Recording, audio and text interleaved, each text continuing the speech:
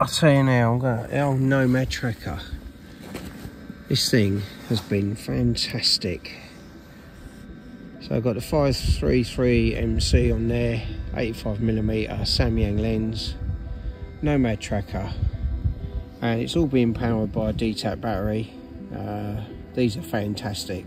I mean, that's still got 63%. It's running the Dew strap, it's running the tracker, it's running the Peltier cooling and the fan on the camera.